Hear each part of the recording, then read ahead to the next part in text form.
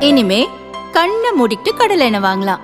ஏன்னா மந்த்ரா கடலை எண்ணெய் இதயத்தின் தயாரிப்பு.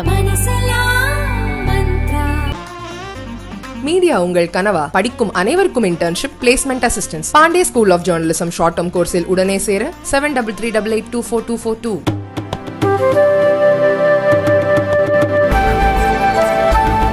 Tiruppur மாவட்டத்தை சேர்ந்த பதினேழு வயது சிறுமியை பல மாதங்களாக பாலியல் துன்புறுத்தல் செய்த வழக்கில் ஒன்பது பேர் கைது செய்யப்பட்டுள்ளனர்.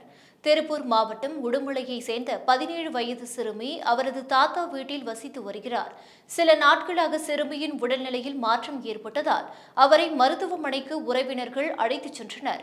மருத்துவ பரிசோதனையில் சிறுமி நான்கு மாத கர்ப்பமாக இருப்பது தெரிய வந்தது உறவினர்கள் விசாரித்த போது பல மாதங்களாக ஒன்பது பேர் சேர்ந்து பாலியல் வன்கொடுமை செய்ததாக சிறுமி கூறியுள்ளார். இதுகுறித்து உடுமலை அனைத்து மகளிர் காவல் நிலையத்தில் புகார் அளிக்கப்பட்டது.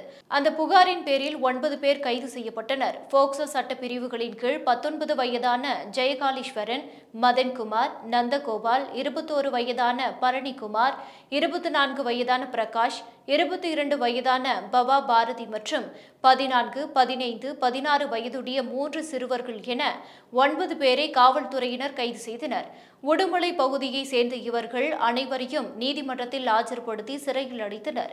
இதற்கிடையே கைது செய்யப்பட்டவர்களின் உறவினர்கள் இந்த வழக்கில் உரிய விசாரணை செய்யுமாறு உடுமலை காவல்துறை துணை கண்காணிப்பாளர் அலுவலகத்தின் முன் திரண்டனர். இதனால் அங்கு பரபரப்பு ஏற்பட்டது.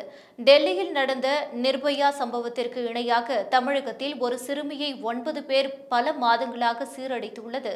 அதிர்ச்சியை ஏற்படுத்தியுள்ளது.